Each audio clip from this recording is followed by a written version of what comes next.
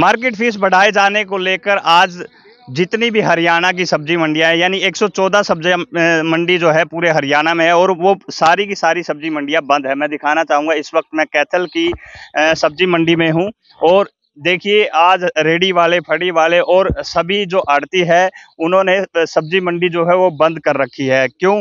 Market fees जो है वो बढ़ा दी गई है। सरकार की तरफ़ से एक नोटिफिकेशन जारी होता है और नोटिफिकेशन के बाद जो स्लैब ये भरते थे, जिस प्रकार से ये मार्केट फ़ीस देते थे, उससे अलग ही एक नियम जो बना दिया गया, जिसमें 40 परसेंट मार्केट फ़ीस जो है, वो एडवांस में ली जा रही है।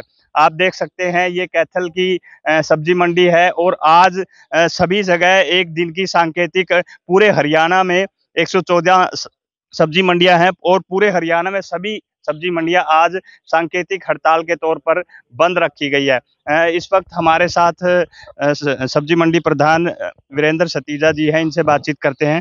वीरेंद्र जी जैसा कि सारी की सारी सब्ज़ी मंडियाँ पूरे हरियाणा की आज बंद है। किस तरह से सरकार की तरफ़ से नोटिफिकेशन जारी हुआ था? किस तरह से नया जो स्लैब है वो लागू किया गया है, बताएँ। ऐसा है, जो पहले वाली सरकार थी, उन्होंने हमें तीन साल के लिए जब सरकार थी, पहले वाली मार्केट फ़ीस ज़ीरो कर दी थी। उसके बाद मौजूदा सरकार ने साढ़े पाँच साल हमें, हमसे हमसे कोई फ़ीस नहीं ली। कोरोना काल जब कोरोना आया तो उस समय उन्होंने हमारे ऊपर दो परसेंट लगाया। एक percent H R D F एक परसेंट मार्केट फ़ीस वो क्या है, उन्होंने ये बोला कि इस टाइम कोरोना काल है, पैसों की ज़रूरत है तो आप हमें टैक्स दीजिएगा। हमने उनको टैक्स दिया, एक परसेंट वो भरी, एक परसेंट वो भरी। मंडियाँ भी चलाई हमने उनके कहने पे। जैसे वो कहते थे, सरकार के साथ हम कंधे से कंधा मिला के चले। उसके बाद उन्होंने बोला कि ये टैक्स आपको कोरोना काल के बाद हम खत्म कर देंगे। उसके बाद हमारे प्रतिनिधि मंडियों के जो हमारा यूनियन संगठन, उनसे मिला कि इसको खत्म किया जाए, और इसको खत्म करके लमसम पे लगाई है लमसम क्या था वो? जैसे आपके पास लाइसेंस है, छह सौ रुपये में रिन्यू होता है। उसके छोटी मंडियों से ग्यारह हज़ार बड़ी मंडियों से इक्कीस हज़ार कुछ और बड़ी मंडियों से इकतीस हज़ार ले लिया जाए ताकि ये पैसा आपके पास आ जाए वही पैसा सेम आपके पास पहुँच जाएगा हमारे को भी राहत मिलेगी।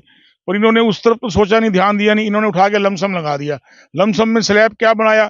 जिसने एक लाख एक हज़ार रुपये फ़ीस भरी है उसको एक लाख चालीस हज़ार रुपये पे करना पड़ेगा। जिसने पाँच लाख एक हज़ार भरी है उसको छह लाख सतासी हज़ार पे करना पड़ेगा। यानी ये कह सकते हैं मोटा मोटा चालीस हज़ार रुपए एडवांस चालीस परसेंट उन्होंने बढ़ाया है मेरी बात आप समझिएगा और उनको समझाइएगा कि एक चार दो हज़ार बाईस से इकतीस तीन दो हज़ार तेईस तक जो फ़ीस हमने भरी है, सपोज़ करो वो हमने एक लाख भरी है। इकतीस तीन दो हज़ार तेईस चला गया। एक चार दो हज़ार तेईस से लेकर अब, जब अब अब तक अगर हमने पचास हज़ार रुपये भरे हैं तो हमको नब्बे हज़ार रुपये और देना पड़ेगा। उनको इकतीस मार्च से पहले पहले जो नोटिफिकेशन हमारे पास पंद्रह तारीख को आया था, उन्होंने उसका टाइम एक महीने के लिए बढ़ा दिया है। उसके लिए हमें नब्बे हज़ार वो पे करना पड़ेगा, वो भी एडवांस उसके बाद नए जो फाइनेंशियल ईयर शुरू होएगा, उसका भी हमको एडवांस पे करना पड़ेगा। उसके बाद 2025 के बाद 10 परसेंट इंक्रीज करके सरकार हमसे लेगी। इसी चीज़ का रोष है। इसी चीज़ में हमने अपनी सब्ज़ी मंडियाँ बंद करी हैं। 114 की 14 मंडियाँ आज हड़ताल पे हैं। आजू बाजू की सारी मंडियाँ हड़ताल पे हैं। रेडी वाले फड़ वाले दुकानदार जो भी मजदूर हैं सब हड़ताल पे हैं। आप मंडी में आयो आप मंडी को देख सकते हो सारी मंडी बंद है। तो प्रधान जी इसका तो अगर हम सीधे सीधे बात करें 40 परसेंट जो फ़ीस बढ़ाई गई है इसका सीधा असर तो सिर्फ़ आड़ती पर नहीं आम आदमी पर भी पड़ेगा। देखो जी आड़तियों पर तो असर ये पड़ेगा कि आड़तियों ने अगर फ़ीस एडवांस भरते हैं कल को हम हैं, हम काम नहीं करते, हम काम छोड़ देते हैं। हम चले जाते हैं, बच्चे आजकल नहीं काम करते तो हमारा पैसा चला गया, पैसा तो सरकार से हमें वापस मिलना नहीं। तो जो कस्टमर सामान लेके जाएगा, ये बोझ उस पर पड़ेगा। पहले तो हम उनसे पाँच प्लस दो लेते हैं, जब हम उसको दो छुड़वा रहे हैं तो खाली पाँच लेंगे ना। उसमें पैसा कम हो जाएगा। एक सौ रुपए की आपने कोई आइटम बेची, उसमें पाँच रुपए लेने हैं। पहले हम सात लेते थे। हम दो तो खत्म कराने की सोच रहे हैं। अभी दो खत्म हुए, वो कस्टमर एक रुपये एक एक रुपये में सिर्फ़ पाँच पैसे पे आ जाए। सौ रुपये में पाँच रुपये में आए। तो पब्लिक को राहत है इससे। उसको राहत मिलेगी दुकानदार को, जो लेने वाला है, आगे बेचेगा राहत से। पब्लिक को राहत मिलेगी। पब्लिक भी आगे खाएगी राहत से। सारा कुछ ठीक हो जाएगा। समस्या तो यही है जी। किसी से इस बारे बातचीत हुई हो या फिर किसी ने कोई आश्वासन दिया हो, अगर समाधान आज सांकेतिक हड़ताल से नहीं निकलता तो आगे की रणनीति क्या रहेगी? कल हमें सर्किट हाउस कुरुक्षेत्र में माननीय मुख्यमंत्री जी के सलाहकार हैं भारत भूषण भारद्वाज जी। भारत, सॉरी भारत भूषण भारती जी, उन्होंने हमें बुलाया था।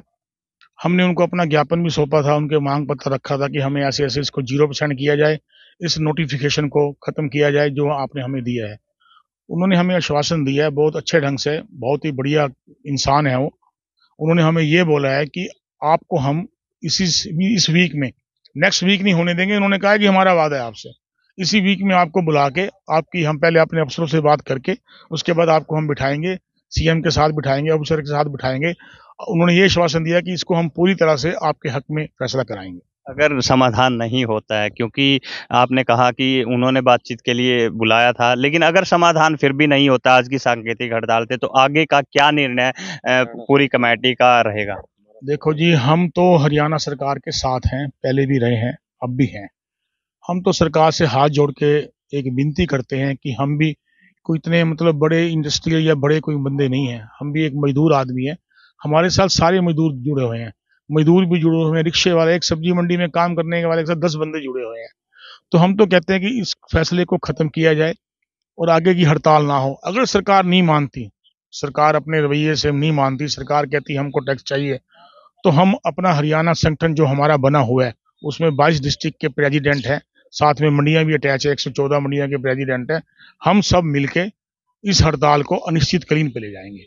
बिल्कुल जैसा कि इनका कहना है कि अगर समाधान नहीं होता तो हड़ताल अनिश्चितकालीन चली जाएगी। आ, क्या नाम है जी?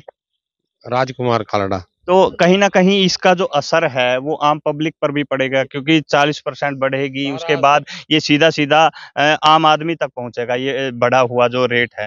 ये सारा असर किसान और आम पब्लिक पे ही पड़ना है। हमने तो उनसे टैक्स लेके सरकार को देना है।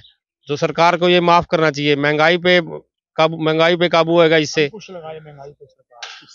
महँगाई पे रोक लगेगी अगर सरकार ये दो परसेंट छोड़ देती है तो छोड़ना चाहिए सरकार ये सरकार तो चालीस परसेंट दे रही है दो परसेंट की। नहीं ये हमने ये स्लैब हमने अफसरों से जो जिन्होंने ये स्लैब बना के भेजा है ना हमने उनसे मीटिंग की थी। उनकी भी समझ से बाहर है ये।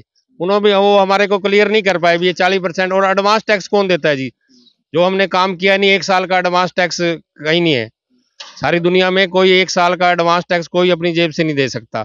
जिसने पाँच लाख, एक हज़ार रुपये फ़ीस भरी है ना last year last financial year में, उससे छह लाख सतासी हज़ार एडवांस मांगा गया है। वो छह लाख सतासी हज़ार कहाँ से लाएगा? उसने देखे ही नहीं छह लाख सतासी हज़ार रुपये। वो कहाँ से इनको दे देगा? तो इसका विरोध है। ये सरकार लागू करे ना, कोई नहीं भरेगा इसको। बिल्कुल जैसा कि इनका इनका कहना है कि आज सांकेतिक हड़ताल रखी गई है। जिस तरह की नीति जिस तरह की नोटिफिकेशन जारी हुई थी जितना 40 परसेंट एडवांस जो टैक्स इनसे लिया जा रहा है उसका कहीं ना कहीं जो सब्ज़ी मंडी के आड़ती वर्ग है उनमें विरोध है। और अगर इनकी मांगे नहीं मानी जाती हालाँकि बातचीत के लिए इन्हें बुलाया गया है लेकिन अगर आज की जो सांकेतिक हड़ताल है इसके बाद इनकी मांगे नहीं मानी जाती तो ये हड़ताल जो है अनिश्चितकालीन भी जा सकती है। कैथल से वीरेंद्रपुरी हरियाणा तक।